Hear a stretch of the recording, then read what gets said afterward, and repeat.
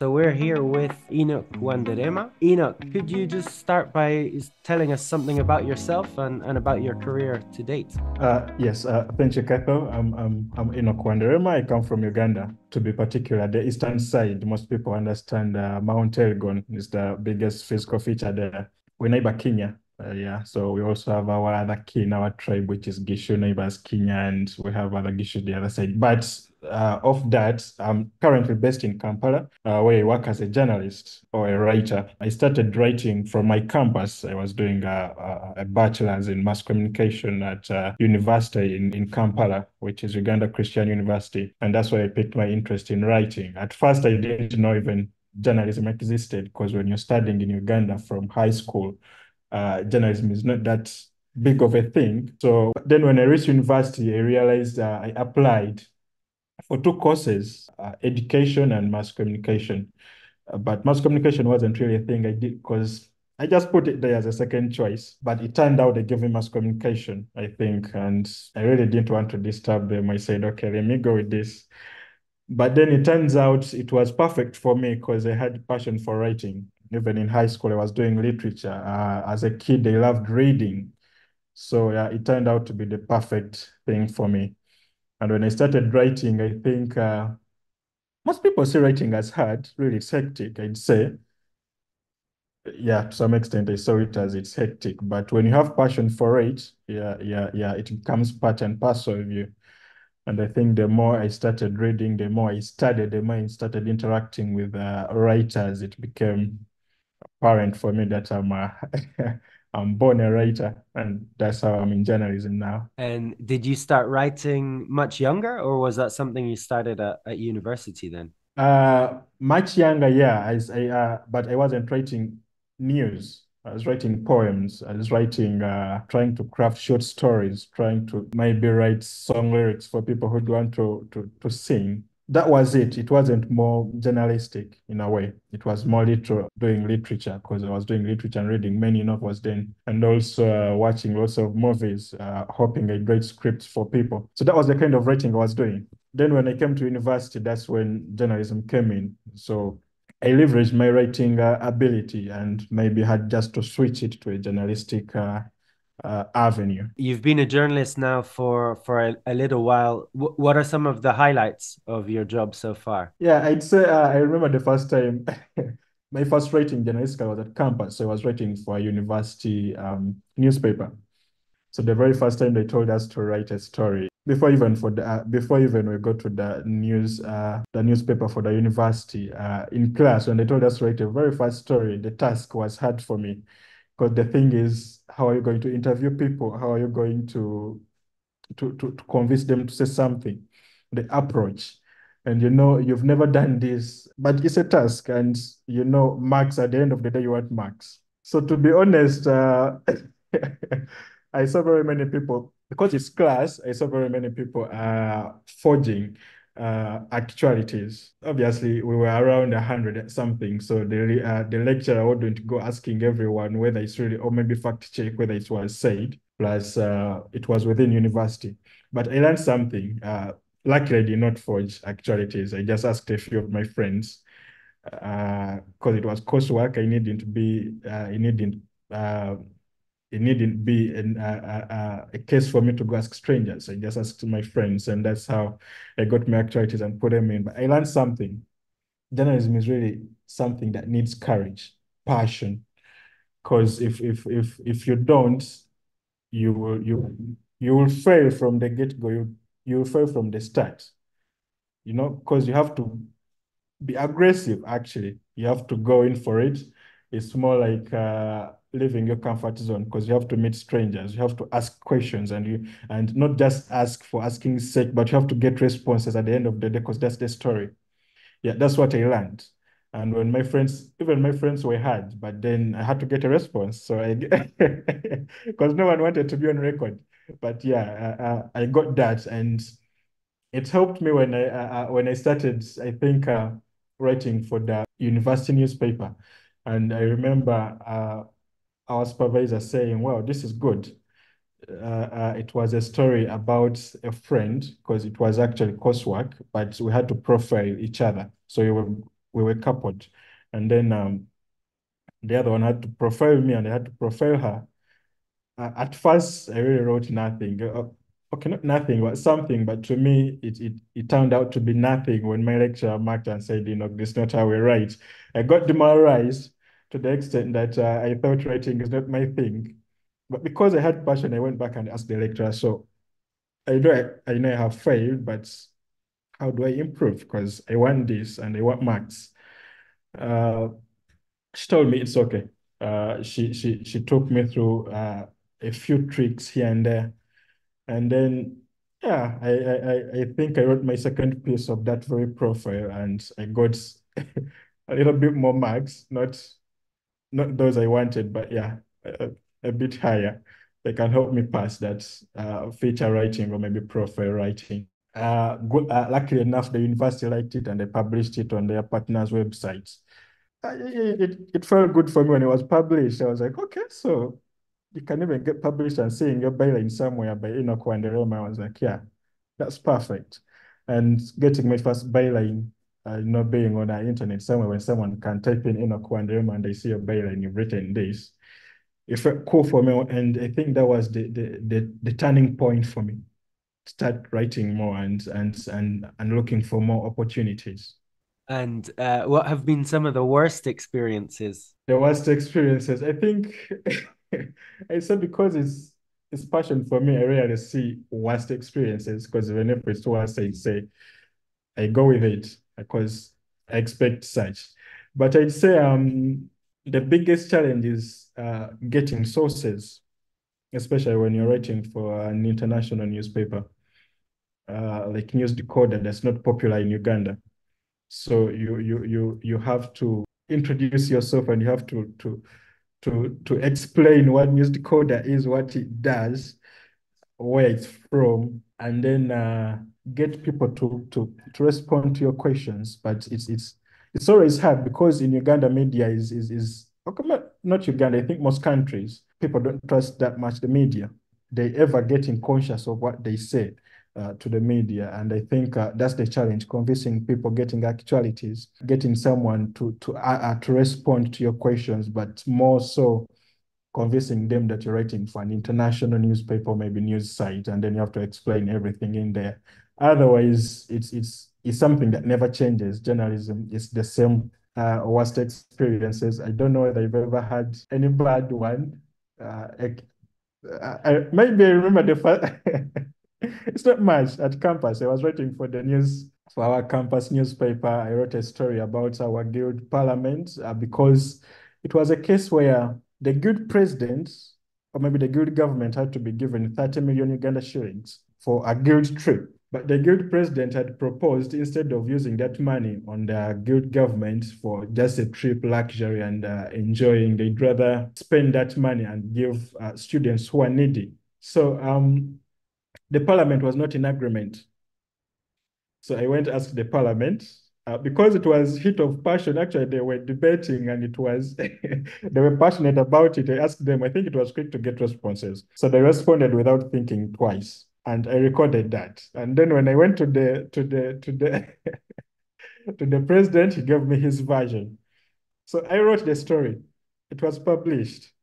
Now, you know when it was published, because very many students read it. And the thing is, no student would uh, support uh, such money going to the guild government just for a trip, okay? And a trip that is not beneficial to the campus, or maybe it's not even official. Uh, uh, I won't say it's official because it's official, it's their mandate, they have to go, but it's just enjoyment, entertainment. They are not really doing much. So I'm sure students would, would be supportive of the president because he was rooting for them, using the money to support the needy students who were maybe lacking tuition and stuff. So when the story was published, the uh, government was, or maybe the parliament was criticized, and they started coming back to me. They're like, man, we have to take you to the uh, students' tribunal. You have to explain why. yeah. Uh, I was scared because it was my first time writing such a story. And not taking me to the students' tribunal was also something I'd never heard of. Like I didn't, I never expected I'd be there at any point. So they threatened that uh, they threatened me, but then the editor said but they said it and it's on record. So if anyone wants to take you, let them come to the university uh, media and uh, say we lied. If we lied, good, they will take you. But if we didn't, actually they will have to be penalized for trying to threaten you. So just go out, be safe. Don't don't even bother. They won't do anything to you.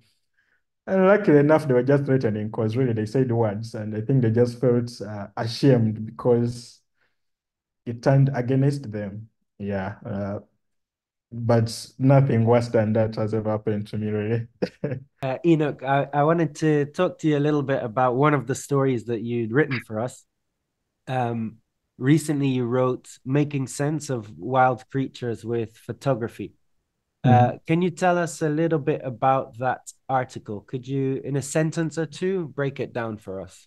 Uh, so, um, I got interested in the story uh, because uh, I wrote a story from, uh, I think it's Mongabay. It's also a wildlife or maybe environment site that publishes such stories. So the story was about a camera, a camera trapping that, um, but their angle was interesting. It was about the safety and privacy. When I wrote it, I thought, do we have such in Uganda? And luckily enough, uh, our Ugandan parks are just starting to use such technology. And also, uh, when I contacted one of my my sources, which is also another trick that people have to get when you do a story with someone, uh, keep them keep them in contact because I remember doing a story back then last year in September. I think it was still in March, uh, Falls, it was about the Rangers. Yeah, it was still published in the News Decoder. And they kept their contacts. It was easier for me to contact them and ask them, do you use this technology? Do you have, is, is there anything new? Luckily enough, they were using the technology and uh, it had also spotted a, a, a, an endangered species, that's a pangolin. And to me, I was like, okay, now that they are using it, uh, what's interesting about it? And that's how I started uh, uh talking to them uh, got what's interesting about it and uh, how it could also help Ugandans, or maybe uh, how it could help uh, the tourism industry in Uganda, but also be of uh, a, a, benchmarking support to anyone, or maybe any country or any uh, people who are working in wildlife. The topic revolves around camera traps, and you mentioned privacy there. So, mm. can you tell us a bit about who's affected by those issues and and people or or wildlife who's who's affected uh, very many are, uh, sorry very many people are affected because uh, most people may look at it as something that's affecting wildlife but uh, we are in this ecosystem biodiversity and we figured uh, maybe uh, the numbers in Ugandan wildlife are, are, are, declining. The animals are declining, maybe due to um, uh, to the conflict between the community surrounding the parks and uh, the predators in the parks that go to encroach on their livestock, uh, which is also another bad thing. So in in in in in, in retaliation, they have to kill them. Uh, and then poaching. So if that happens, it means uh, the tourism industry will also uh, be affected and the tourism industry is broad. It's not just Ugandan and it's not just uh, the community surrounding, but everyone who is interested in, uh, in, in, in touring or maybe coming anywhere or maybe seeing these, these animals. But also the revenue that comes from it uh, uh, uh when, when, when wildlife or maybe these species decline, it's, it's, it's, uh, it's, it's a dent in the, in the, in, in the government financials. So, um, it's, it's, it's, it affects when you look at it in a bigger perspective, everyone was not just everyone. But then um, when we go to privacy, it's more of the people surrounding the community. Uh, sorry, the, the parks, the community surrounding the parks, because most of them go in the parks for uh, to fetch firewood or maybe to, to, to cut grass, to thatch their houses. Um, very many activities grazing in there. But then um, if these are used and and and maybe they're doing something and then uh, uh, they would they will stop you uh, doing such activities because they know there are cameras in there. It's a limit. But uh, when I asked to think about that, they said uh, it's a protected area. So really, people should know anything can happen in a protected area. And if you know it's a protected area, then you shouldn't do anything that's uh, that that shouldn't be recorded in there because because you know it's protected and there is cameras in there. Uh, but um, I think this technology is is is, is just nascent. It's, it's, it's on its nascent stages. It started way back, but people using it for research and all that. Most countries, maybe or maybe it's been done, but on the low. So I think most people outside there, it it it's it would sound more of um, benchmarking article where people look at it and and the question uh, what uh, uh, uh, conservation uh, strategies are being done in our countries. You know, um, is there anything happening to our spaces? Is is is our tourism being affected? Um, and and if so, what measures are being done to bring back or maybe to revamp uh, wildlife, this biodiversity, and and and and so if if there are measures, then you interrogate the measures. Are they safe for the people? In this case, these are cameras. Are they safe? Are they being used ethically? And that's where the previous bit came in. Because if you're not using the, that uh, kind of technology, or maybe you're, uh, you're using another, there could be other concerns, okay? So you should interrogate um, what concerns come with such technology or such measures. And, and that's what the story is trying to look uh, at. Uh, what measures and also interrogating the measures, are they safe for the people in there? And did you find there were any measures that are kind of helping to better the issue? What kind of things can they do or what kind of things are they doing? Well, uh, since it's a protected area, I think uh, people shouldn't really do anything illegal in there. But if they do, then uh, uh, the only measure that I saw that's being taken to to to to is when people graze and then maybe the, the, the predators in the park uh, attack the animals. There is this compensation scheme that people do. I think uh, that the park does. I think they collect money from entrances in the park, and 20% of that is to compensate uh, the communities around. But also, uh, the park also has another uh, partnership with a certain organization that's uh, that is uh, mandated with compensating people if they lose their livestock. Otherwise, there is nothing we can do about privacy because it's a protected area and you can't fight the law. And in terms of conservation in the area, um, what can students do to help fight the problems that are there? Well, uh, as as as as I said uh, uh, earlier, I think it's it's more benchmarking, and students just have to interrogate and and and and maybe write more. It's more of a public uh, or maybe creating awareness because tourism tourism is more of people coming in, and and and when people come in, it's more revenue to the government. So if it's Ugandan students specifically, uh, whatever they do, creating awareness for the wildlife, it boosts the country's revenue through tourism. But for others who are outside Uganda, it's more of benchmarking what is happening in your country. In conservation, what's happening in your country. And then um, if you find what's happening, is it safe for everyone? Or is it only uh, benefiting the government? Such are the things you have to interrogate. So it's, it's, it's more of balancing everything that's being done for conservation to benefit both the government, uh, to benefit the people, but also uh, to boost uh, wildlife to make sure uh, it's not declining because now we have very many issues. We just came from the pandemic, which also affected tourism. We uh, we are also suffering from uh, global climate, so maybe uh, maybe climate change, global warming, and all that. So yeah, it's more of interrogating and creating awareness of the importance of wildlife, but also the importance of balancing the measures that are taken to revamp wildlife to benefit both parties, the people and the government, but also uh, to make sure it, is safe for um, uh, wildlife, because you know wildlife is is is is sensitive to technology, if you know. So anything that has to be done should be really um, considerate to to to biodiversity.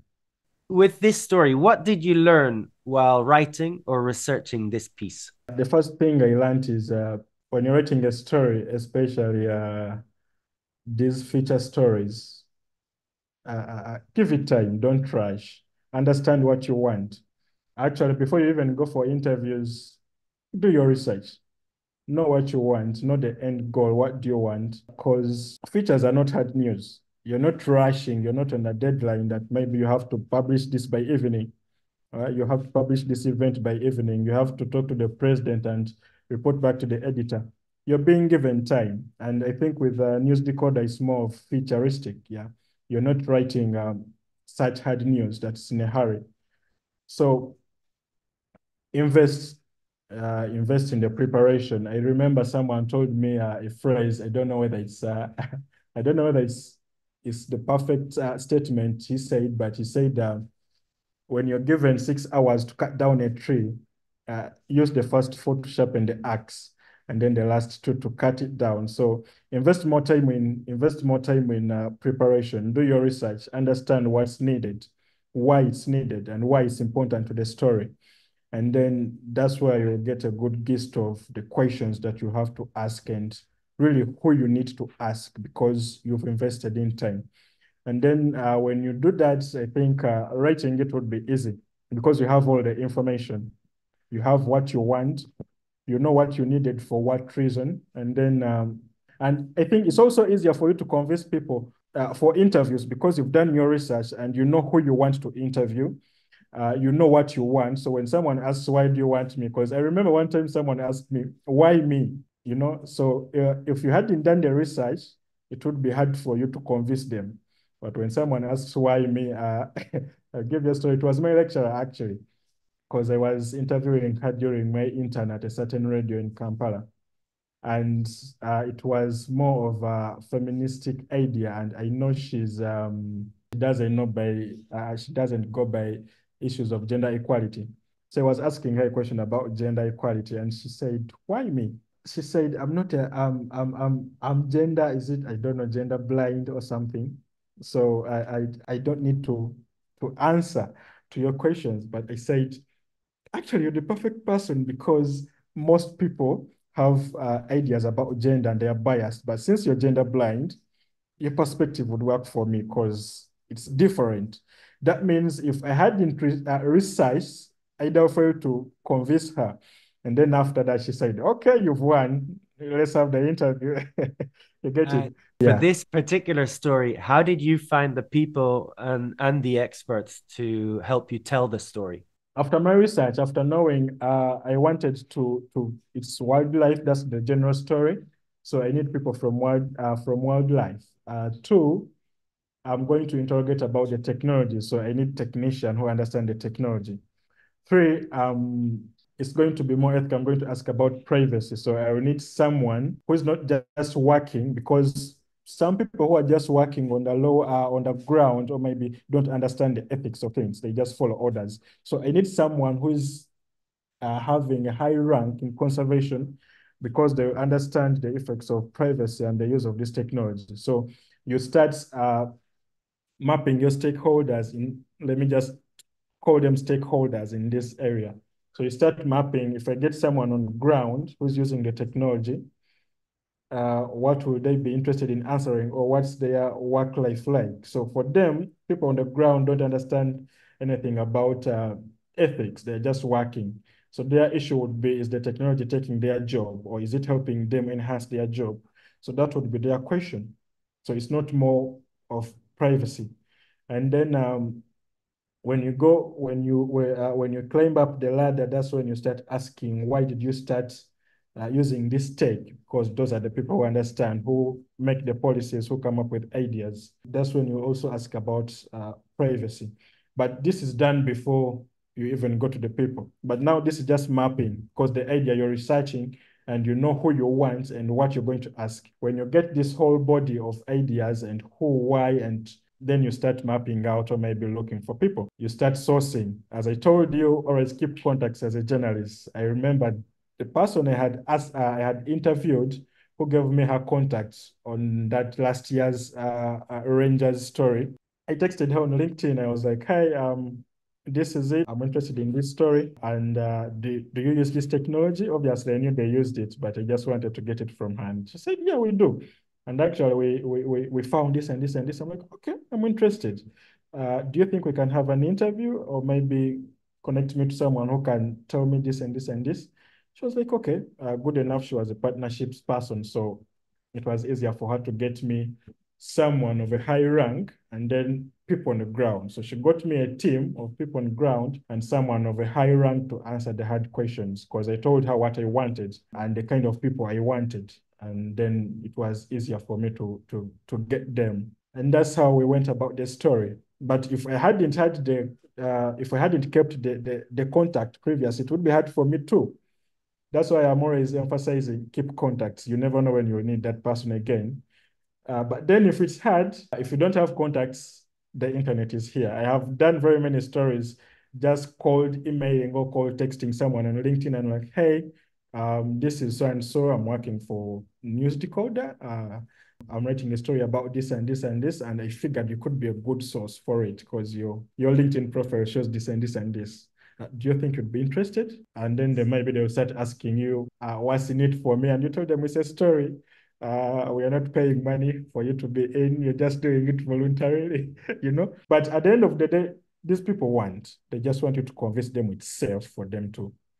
Yeah. So it's a digital world. You can't say I don't have sources. Really, just go on the internet. I've done very many stories. Just call texting someone on on LinkedIn or maybe uh, calling someone who knows someone who knows someone.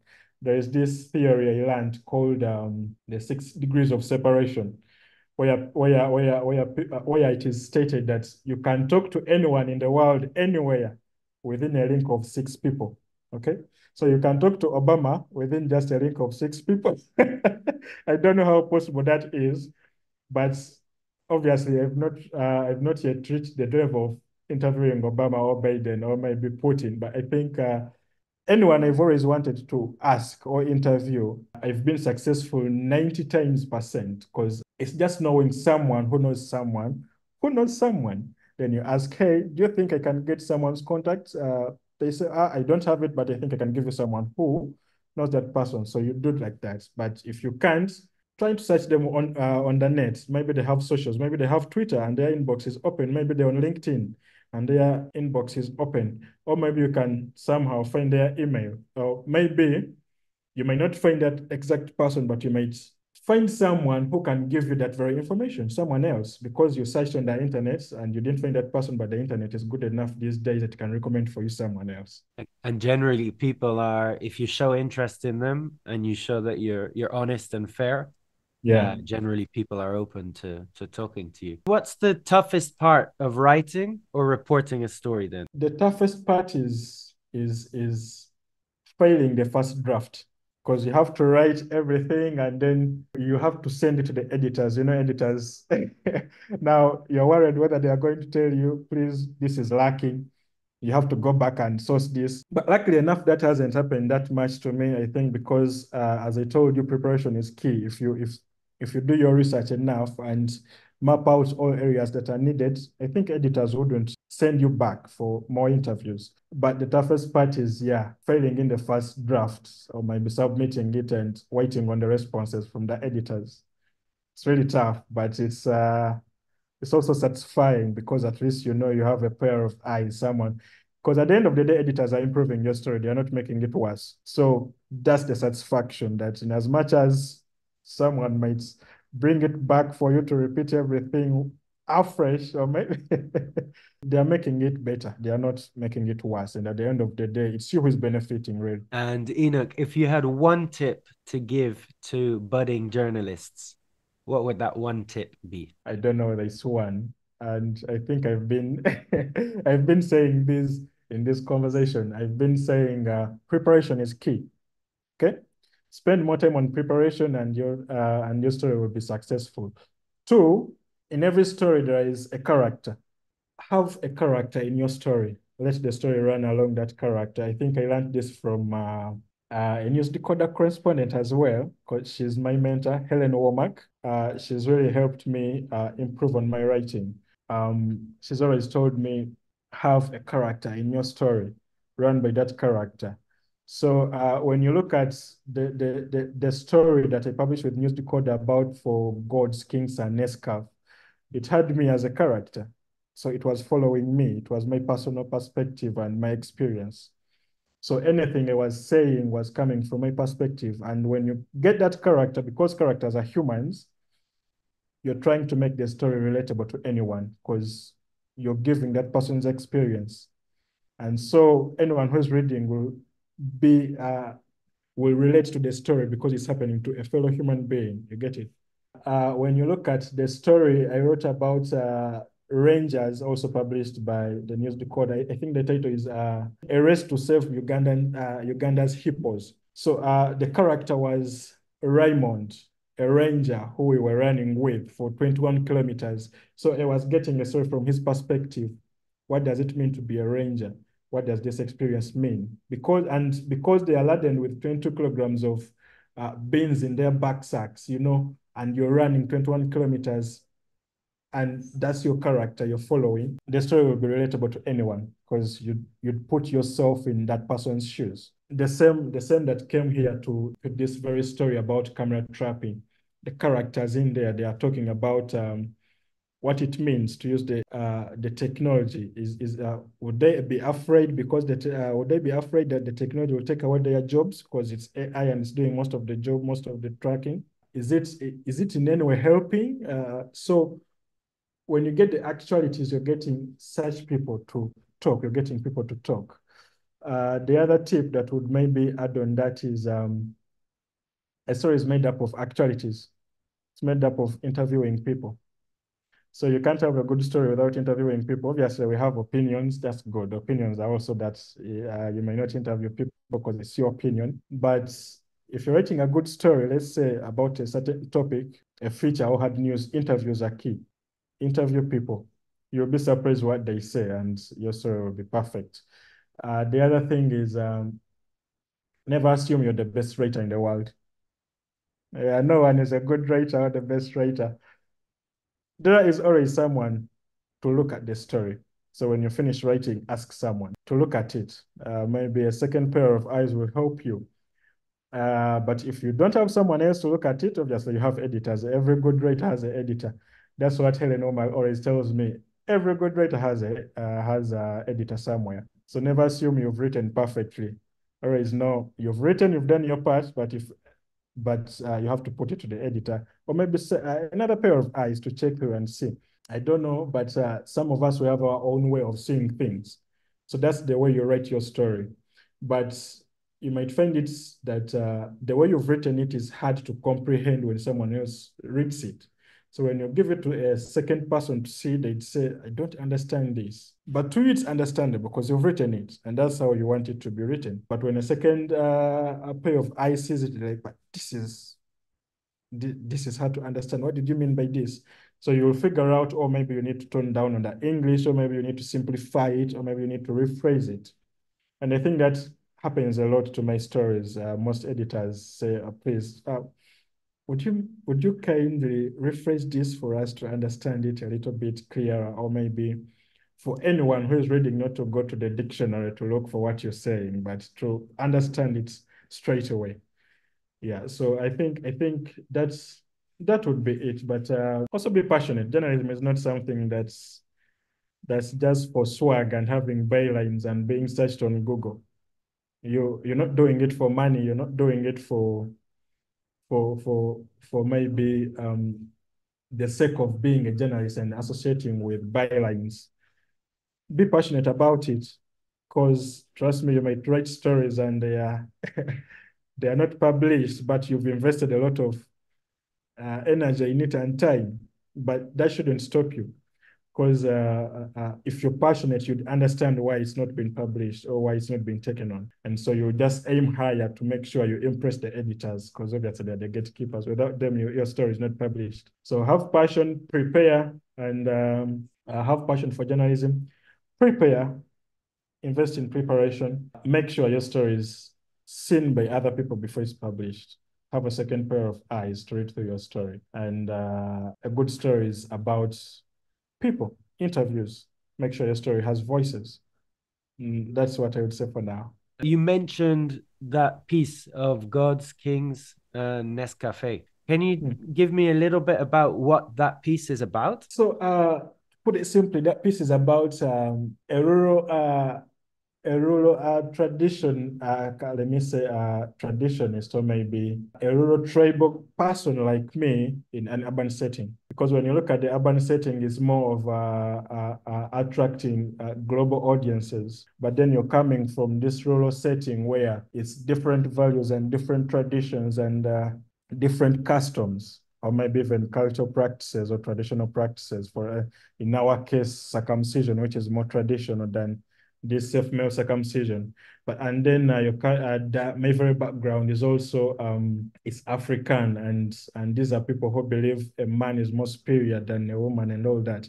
But so coming with all those values, and you're going to work with people in in an urban setting where people have different beliefs. For example, gender equality. Uh, uh, people are, are, are, don't believe in traditional circumcision. They feel it's unsafe but this is where you're coming from. And uh, uh, uh, such life is, is, is, is, the balance between being um, a tribal person in an urban setting. Can you tell us a little bit about what that shift was like for you, moving to Kampala and moving to the urban setting? Personally, how, how was that? The shift, um, I would say it wasn't hard for me because I think, uh, thanks to education, I think when you go to school, uh, you're exposed to very many things. But uh, I put myself in the shoes of a person or maybe someone who didn't go to school, because those would be staunch traditionalists. Uh, uh they, they know nothing about gender equality. They know nothing about um, self uh, self male circumcision. They know nothing about um, the way people react in a professional way or maybe act in a professional way.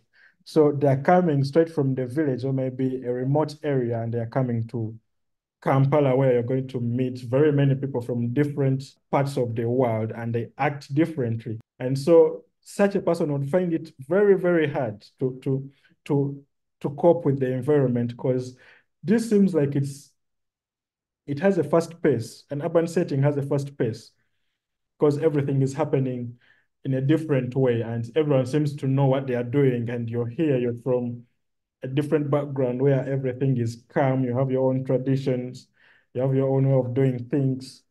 So that would be hard. Uh, so uh, that story, what uh, uh what it was trying to to to do is um, how people should reflect on being uh, global citizens, right? Because at the end of the day, we, we, we should appreciate that the world, uh, we are not the only ones in the world. And the world is changing because of these crises we are having global warming, the pandemic, very many things are changing. And so it was more of trying to tell people we need to shift really. And more so the young people who who who who are comfortable uh, wherever they are, they, are, they have not been exposed or they have not traveled enough. It's a wake-up call for people to understand the world is complex and we should we should be aware of different kinds of people everywhere and and and and we should cope up because it's no longer a remote world. It's, it's, it's, it's connected, interconnected. Yeah. And you, you finished it by talking about coffee. Uh, yeah. What was that about? You said in the end, it, it all boils down to coffee. What were the themes that you were getting out of, of that? So, um, in my tribe, we have uh, very many traditions, but two that stand out is uh, male circumcision, the traditional one, and then um, coffee. Okay. So uh, uh, the way we the way we make coffee has also shifted, just like circumcision has shifted uh, uh, uh has shifted to safe male circumcision. So coffee has also shifted. Uh, that is because for us we grow coffee, the Arabica coffee. We harvest it, and there is a traditional way we we we make the coffee or we brew the coffee. But then the, the, the, the world, or maybe the urban world, has brought us to instant coffee, the likes of Nescafe. So the traditional way we used to make coffee is uh, you harvest it, you, you, you, you wash it, you wash it of the slimy substance that's on it, and then you, you, you dry it. And then you roast it in the traditional way, and then you pound it in a wooden mortar. Okay, so that's a process. That's quite a process compared to just going to the shop and buying uh, Nescafe. That's that's more instant. So so the urban world has taught us to do instant things, and then uh, I think we, we we it makes us lose our traditional values. And that's why I was saying I think it's it's maybe it comes down to to to coffee because the way my grandfather used to do it is not the way we do it now.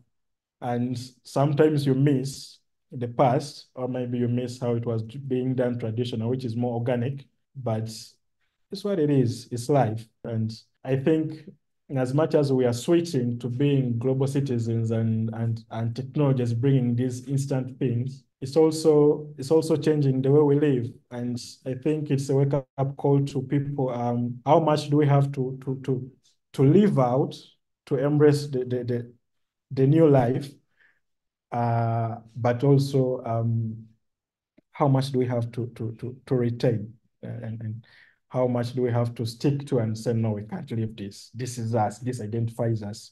It's more about identity and uh, identity in a global world, really in this global setting. Yeah. Enock, um, thank you very much for talking to us today and uh, good luck with your journey ahead. You're welcome. It was a pleasure, really.